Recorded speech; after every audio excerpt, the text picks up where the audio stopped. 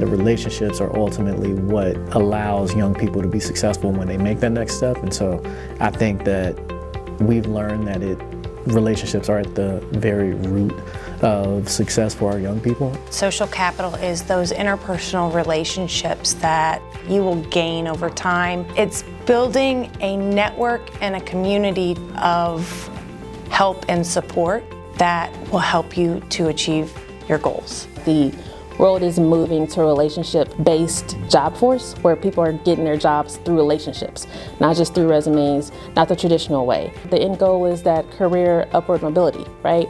So we want to make sure that they're able to leverage those networks and they're able to get better jobs, more paying jobs, and yeah, I think that's what social capital should be and is. I think specifically when I look at the communities that I serve and I look at social capital, I just want to reiterate the importance that social capital has in regards to having an asset-based approach to help them flourish and help them find their pathway in life. So um, it's something that I hope that our program and center never stops doing.